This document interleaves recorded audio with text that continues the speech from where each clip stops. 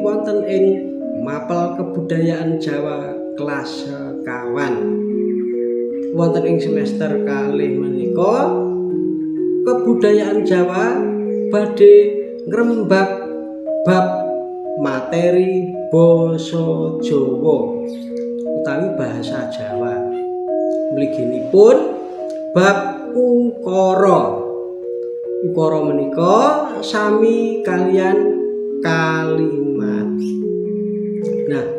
Wonten ing basa Jawi ukara menika wonten kathah sanget.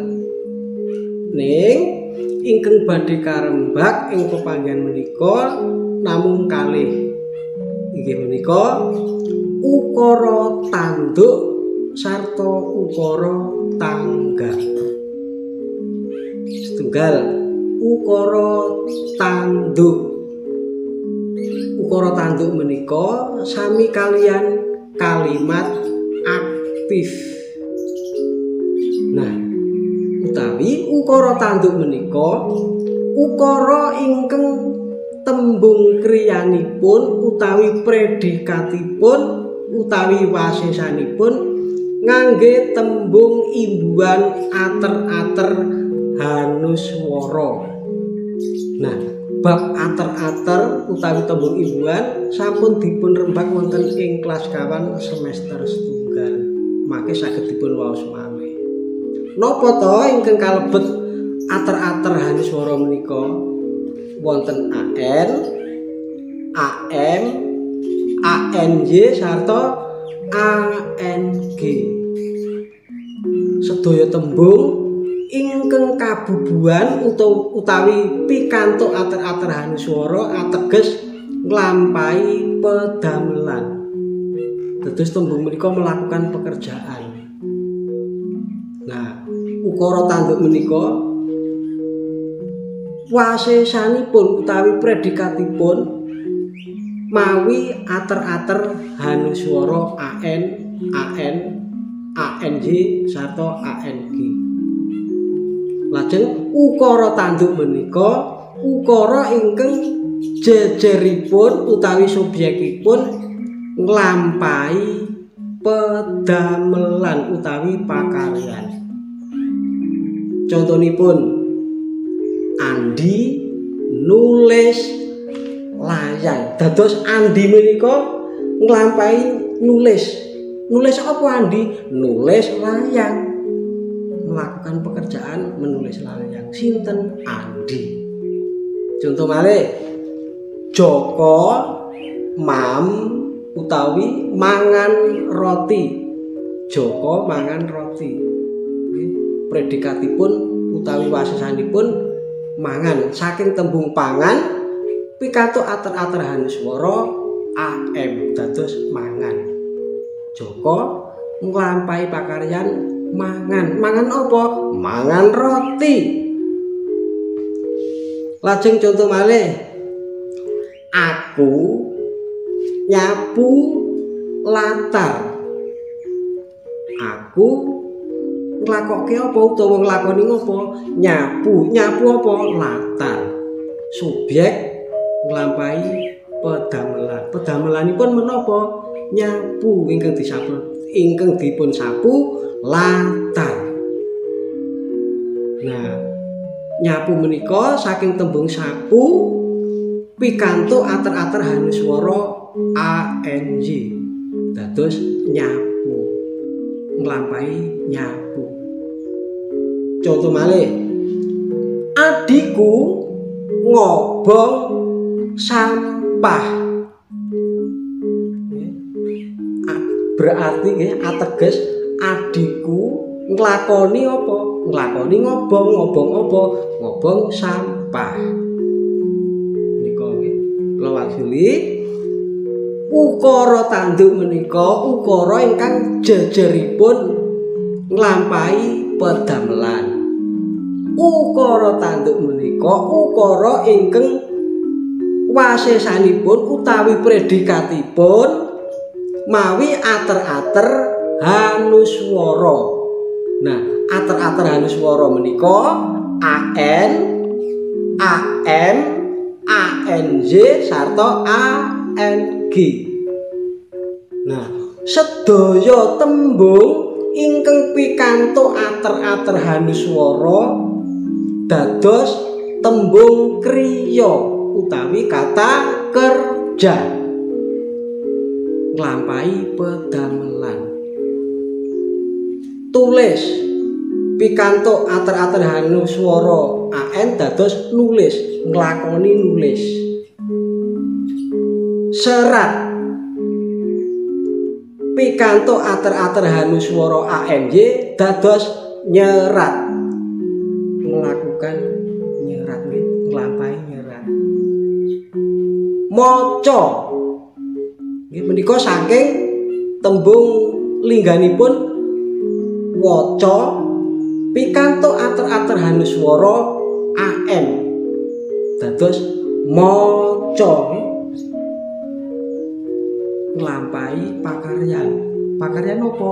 Maca. Menika bab ukara tanduk nah malih menika.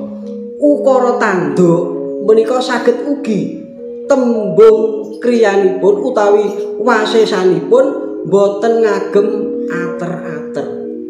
Dados wantah utawi murni tembung lingga boten angsal utawi boten kabubuan utawi boten pikantuk tembung imbuhan. Contonipun marto tuku buku. Hardi gawe layangan. Nah tuku kalian gawe menika tembungipun wantah utawi murni.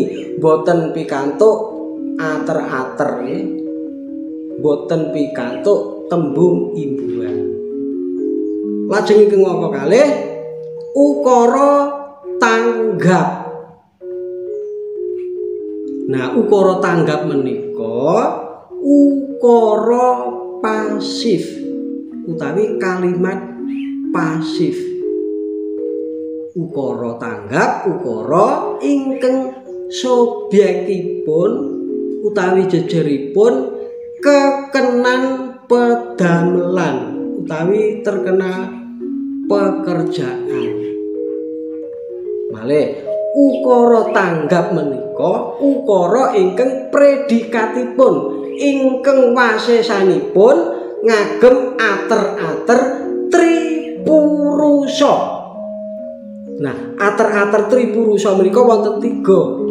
Inggih menika ndak utawi tak kok sarta di ndak utawi tak menika sami mawon kalian kula aku saya diriku lajeng kok menika sami kalian panjenengan kowe kamu anda? Sami. Umpama ini pun utawi contonipun uh,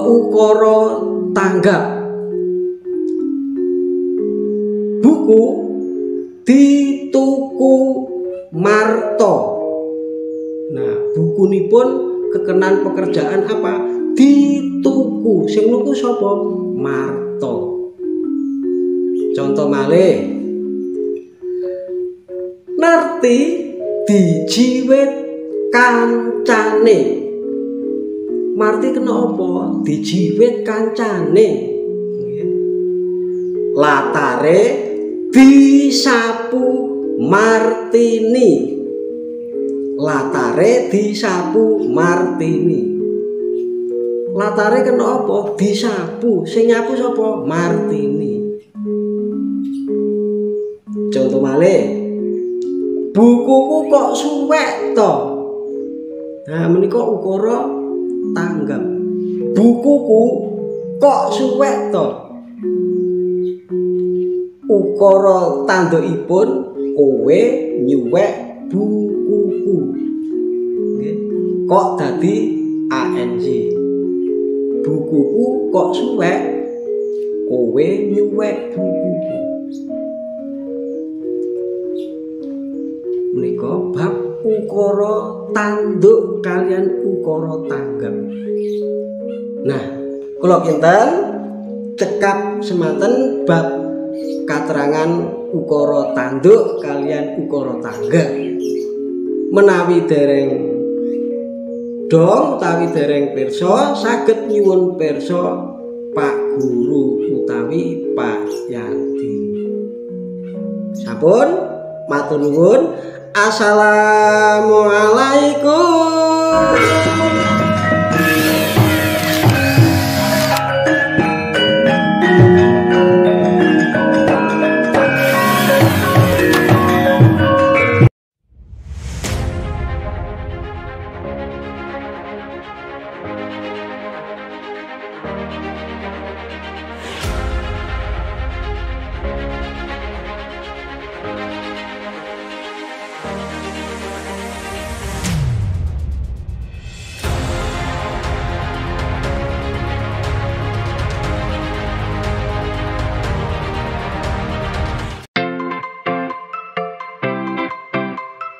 Moms and Dad sedang mencari sekolah yang nyaman dan berkualitas untuk si kecil?